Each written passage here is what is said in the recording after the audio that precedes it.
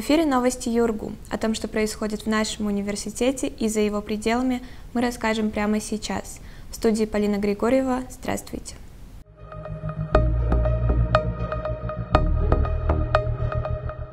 Прошла презентация молодежного сообщества «Вызов».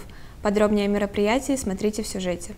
На базе ЮРГУ состоялась презентация молодежного сообщества «Вызов», созданного по инициативе Негосударственного института развития «Иннопрактика» и продюсерского центра «Инсайт Люди». В мероприятии приняли участие приглашенные спикеры, среди которых выступили координатор молодежного сообщества «Разгон» Анастасия Дунаева, директор по стратегическому развитию группы компаний «Приводная техника» Сергей Чупин, пиар-директор продюсерского центра «Инсайт Люди» Валерия Родина, участник реалити-шоу «Вызов» Юрий Фурлетов, руководитель Челябинской студии продюсерского центра «Инсайт Люди» Никита Ковалев, а также ректор Юргу Александр Вагнер. У нас сегодня есть инфраструктура как раз э, для развития того, в чем заинтересовано сообщество вызов, а у сообщества вызов есть аудитория и инструменты для работы с аудиторией, то, что как раз интересно нам. Поэтому дальше интеграция, вот, э, интеграция друг в друга. Сообщество «Вызов» создано для интеллектуальной молодежи страны, готовой развивать свои проекты с помощью медиа, а также предлагает воспользоваться всем инструментарием медиасистемы без отрыва от основной научной деятельности. Э, сообщество «Вызов» – это, собственно, э, инициатива, которая нацелена на то, чтобы в нашем медиапространстве появлялось как можно больше новых лиц, новых лиц, которые будут э, нести новое содержание – науку, образование, которое будет транслировать новые траектории личностного, научного и э, э карьерного развития. Основной задачей молодежного сообщества «Вызов» является объединение двух потенциалов, которые есть у студентов разных специальностей – системного мышления инженеров, помогающего им совершать открытия в науке, и коммуникативных навыков специалистов в области медиа, которые создают имидж и выдвигают научные достижения на мировой уровень. Взаимодействие с молодежью, с университетскими центрами, продвижение молодых ученых в медиапространстве – это, безусловно, одна из стратегических целей, которая, э, целей, которая влияет на э, планы экономики в целом. Сообщество дает возможность каждому участнику получить доступ к ресурсам для создания интересного эксклюзивного контента про науку, творчество и искусство. Принимая участие в проекте «Вызов», можно познакомиться с технологиями медиапродвижения и расширить круг своих рабочих контактов. Например, найти потенциального владельца производства, которому будут интересны результаты научных разработок. По окончании встречи со студентами генеральным директором молодежного сообщества Андреем Серовым и ректором ЮРГУ Александром Вагнером было подписано соглашение о сотрудничестве.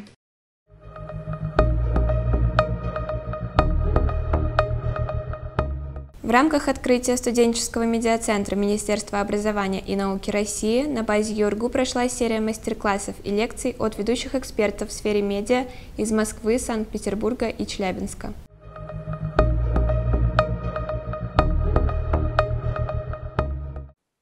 Участники круглого стола, вузовские медиа, опыт и перспективы поделились успешными практиками медиапроизводства, созданием информационного контента, специализированных печатных, телевизионных и радиоматериалов, продвижением проектов в диджитал-среде. Знаете, я думаю, что наши коллеги из вузов Челябинской области очень нацелены на интеграцию.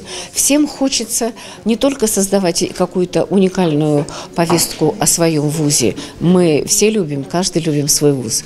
Но все хотят принять участие в таком каком-то общем деле, чтобы было впечатление о территории Челябинской области, чтобы было впечатление о системе высшего образования Челябинской области. Потому что мне кажется, что с одной стороны, да, у каждого своя индивидуальная студенческая жизнь, но с другой стороны, у нас у всех есть такое понятие студенческие годы. И поэтому о студенческой жизни можно рассказывать много, долго, интересно. И если об этом узнает большее количество людей, если мы будем больше знать друг друг о друге. Если мы э, расскажем об этом э, всему миру, о том, что э, как живут, чем дышат наши вузы, наши студенты, это же будет здорово. По данным исследователей медиарынка, в ближайшие десятилетия возрастет потребность в архитекторах трансмедийных продуктов и универсальных журналистах. Современных студентов уже сейчас необходимо готовить к вызовам цифровизации, информационному перегрузу, борьбе с фейками, просвещению населения в вопросах медиапотребления и углубленному анализу данных. Участники дискуссии подчеркнули важность содержательного подхода к созданию контента. Сегодня мы все чаще переходим от формата и формы к содержанию, к тематике, к глубине и аналитике содержательных именно элементов. А создание и объединение а, таких творческих медийных инициатив студентов, оно а, будет способствовать развитию как раз-таки и новых форматов, и новых форм, и более глубокому содержанию. Потому что когда математик, который учится создавать и писать о своих там каких-то научных достижениях в соцсетях, объединяется с журналистом, то всегда результат получается такой, знаете, синергетический, вдвойне, втройне более интересный. Поэтому вот именно на это мы и надеемся, создавая такие медиа-центры. Сегодня наш университет имеет уникальный масштабный медиакомплекс, который включает в себя телекомпанию Юргу ТВ, радиостудию Юргу, 360-градусный мультимедийный конвергентный ньюсрум, лабораторию VR и нейромаркетинга, продакшн-фотостудию Юргу. В ходе круглого стола руководители университетских СМИ поделились своим опытом. В свою очередь, представители образовательных учреждений региона подчеркивают важность формирования каналов взаимодействия.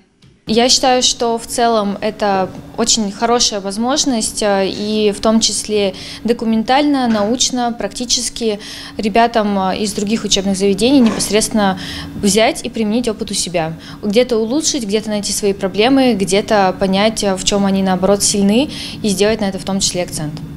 Ближайшие встречи регионального центра будут направлены на координацию работы и составлению медиаплана.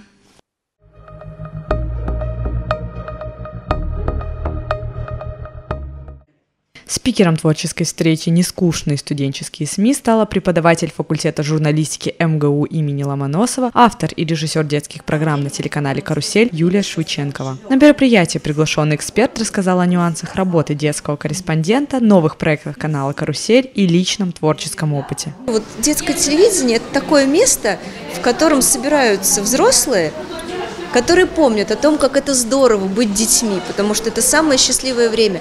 И на самом деле вот это наше ощущение, оно помогает нам радоваться даже каким-то ну, казалось бы, незначительным вещам. И это здорово, потому что ты каждый день живешь наполненно и с ощущением того, что ты счастлив, и что ты радостный, потому что в мире столько всего прекрасного. Я вам сегодня про облака рассказывала. Главные темы творческой встречи – воспоминания о детстве, советских мультфильмах и любимых передачах на телеканале «Карусель». Также участники обсудили волнующие вопросы, касающиеся работы компании. Что в первую очередь меня зацепила сама ностальгия о детстве. Столько воспоминаний сразу постепенно нахлынуло. А плюсом сам спикер настолько душевно и чувственно об этом всем рассказывает, что видно, человек горит своим делом, и это отзывается в душе глубоко.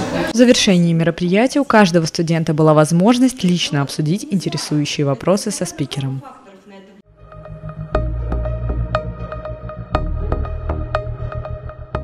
Лекцию для студентов на тему «Профессиональные компетенции журналиста. Этика, навыки, смыслы» провела кандидат филологических наук, преподаватель кафедры цифровой журналистики МГУ Елизавета Стрига. Эксперты с участниками мероприятия подробно разобрали, как правильно написать вступление любого текста. С профессиональной точки зрения для себя я узнала о том, как правильно писать заголовки в текстах, о том, как правильно привлечь внимание зрителя, чтобы ему было интересно читать дальнейший материал, чтобы привлечь его внимание. И какие-то интересные советы, да, я, безусловно, для себя взяла. Для меня, если честно, этот мастер-класс понравился. Было замечательно, интересно рассказывали, познавательно, научно. И навыки, которые я для себя с Царёкой запомнил, это журналист настоящий должен обладать выдержкой, умением правильно излагать информацию, подробно, честно, качественно, правильно. Также спикер напомнила студентам о важности литературы и отметила, что цитирование классической литературы может скрасить журналистский текст, послужив заголовком или цитатой.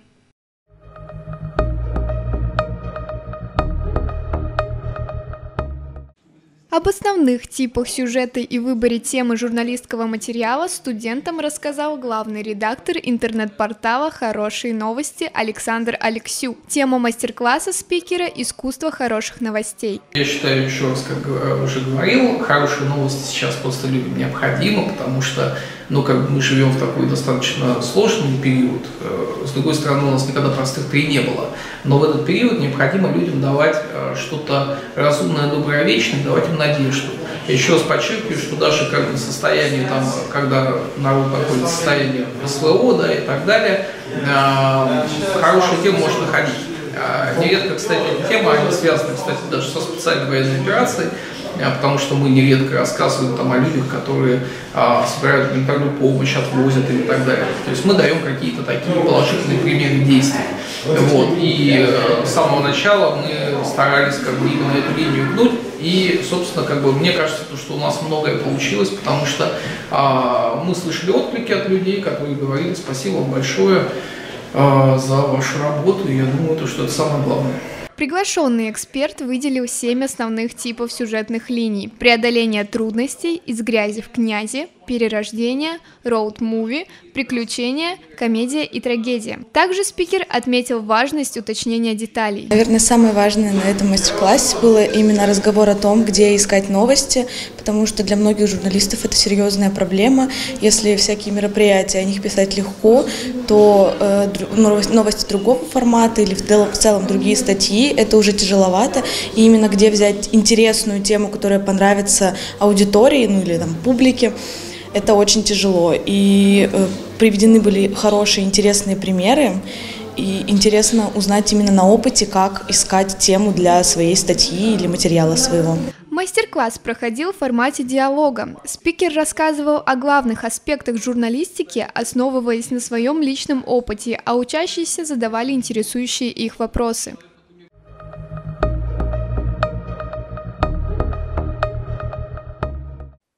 Главный редактор редакции областных новостей АО «Обл ТВ» Владислав Чухров провел для студентов мастер-класс «Ответственность тележурналиста в эпоху информационных войн». Основной темой обсуждения стали вопросы честности журналиста и его работы ради общества. Журналисты, которые гонятся за кликбейтом, э, у них, как правило, наполнение материала пустое, у них классный заголовок.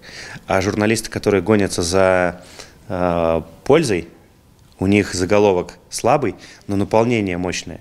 И вот этим самым наполнением и нужно привлекать э, сегодня зрителя, читателя, нужно давать э, советы, нужно помогать зрителю, читателю разобраться вот в сегодняшних э, сложных ситуациях и вообще в том, как устроен мир. Мастер-класс прошел в формате живой беседы. Студенты активно задавали спикеру интересующие вопросы, а также смогли поделиться своим мнением относительно темы. Мне этот мастер-класс очень понравился. Во-первых, он заставил меня задуматься о многих вещах. Вообще, правильно ли я поступила на журналистику? Мое ли это? В каких направлениях я хотела бы работать дальше? Может быть, освещать культуру или писать истории просто из жизни? Или заниматься чем-то большим? Допустим, работать для детей, с детьми или для взрослых? Что такое ответственность? Ответственность. В заключении встречи участники пришли к единому мнению о том, что журналист всегда должен работать прежде всего ради общества и сохранять честь профессии. Мастер-класс «Ответственность тележурналиста в эпоху информационных войн» стал завершающим мероприятием в рамках открытия студенческого медиацентра.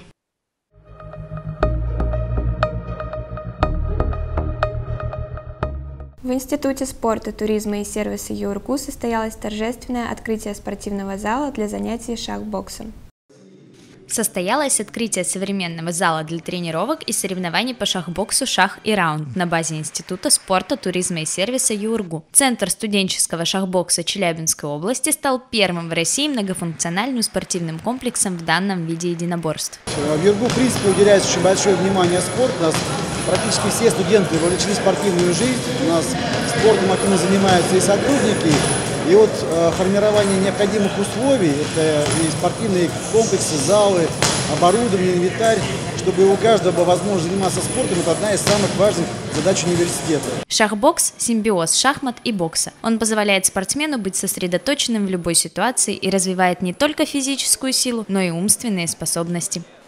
Шахбокс – это э, настолько интересный вид спорта. Комбинация бокса и шахмат – это настолько необычно и наверное, тяжело для спортсменов, то мы, э, не ища легких путей, пошли по этой стезе. Вице-президент Федерации шахбокса России в 2020 году э, пригласил меня развивать шахбокс в Челябинске. И мы с 2020 года вместе с Федерацией шахбокса России стали на путь развития. И сейчас уже у нас есть много чемпионов в Юргу и в городе Челябинске. Шахбокс стремительно развивается в Челябинской области. Также спортивное направление набирает популярность среди студентов Юргу. Шахбокс развивается внутри Юргу очень большими шагами. Мы охватываем уже все институты высшей школы. Сейчас у нас задача вывести шахбокс на областной уровень, вовлечь сюда все вузы нашей Челябинской области. ЮРГУ – спортивный университет, который дает возможности для развития в любом виде спорта. Здесь созданы все условия, в которых студенту будет комфортно заниматься и совершенствоваться. Ну, во-первых, а, самая важная перспектива – это развитие студенческого шоу-бокса. То есть ребята здесь тренируются и по шахматам, и по боксу, и два направления сразу комбинируют. Вот.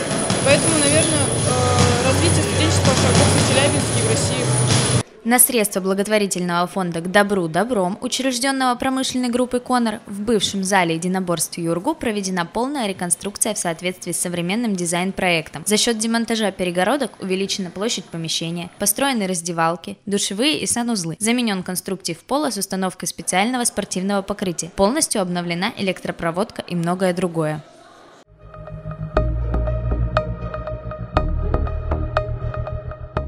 На сегодня это все новости. Берегите себя и будьте здоровы. Смотрите выпуски новостей в социальной сети ВКонтакте, на видеохостингах YouTube и Рутуб, а также платформе Яндекс.Дзен. До встречи в эфире.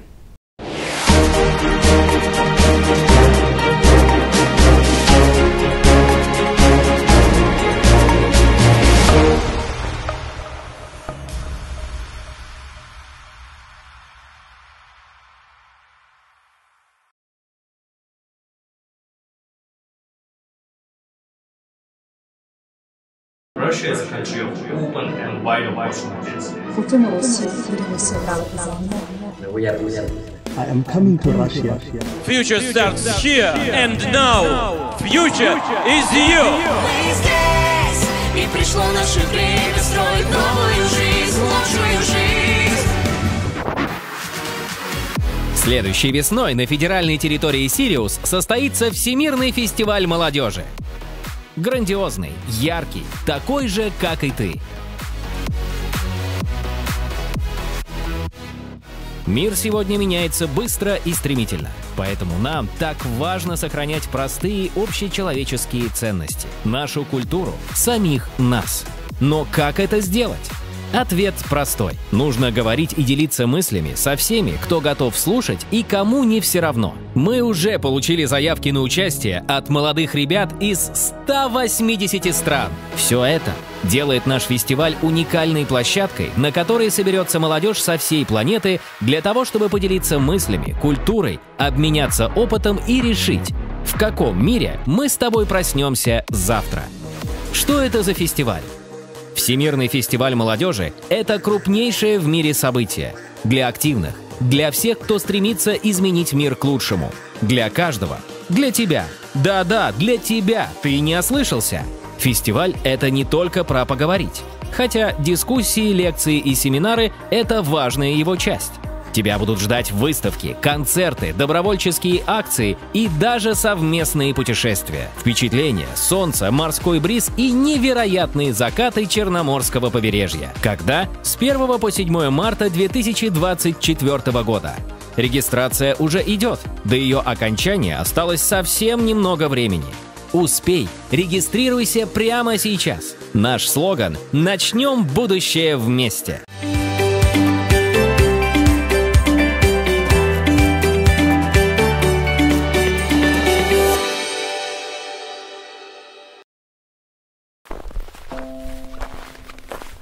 Найти для ребенка развивающий кружок или секцию по интересам не всегда легко. Госуслуги упрощают этот процесс. Чтобы найти услугу, спросите о ней у робота Макса. Выберите интересующий кружок. Для этого можно воспользоваться картой, поиском и фильтрами. Многие кружки на госуслугах можно оплатить сертификатом дополнительного образования. Тогда занятия оплатит государство. Заполните форму и отправьте заявление. Когда заявление будет одобрено, ребенок сможет приступить к занятиям. Госуслуги проще, чем кажется.